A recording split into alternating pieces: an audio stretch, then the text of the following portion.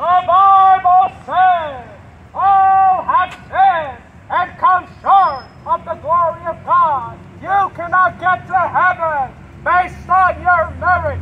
The Lord Jesus Christ, He went to the cross for your sins. That whosoever believeth in Him shall not perish, but have everlasting life.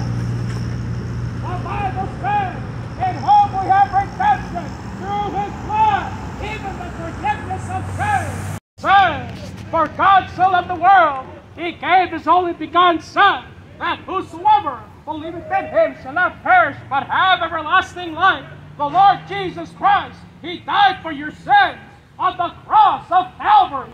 Now, He offers His salvation freely to all that simply trust on the payment for sin. What did Jesus do? He died for your sins on the cross of Calvary. He was buried He rose again on the cross of Calvary.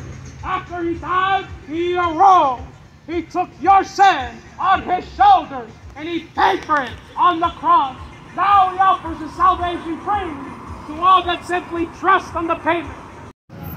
The Bible says, Rarely for a righteous man will one die. Peradventure for a good man, some would even dare to die. But the Bible says, but God, but God committed His love toward us, and that while we were yet sinners, Christ died for us.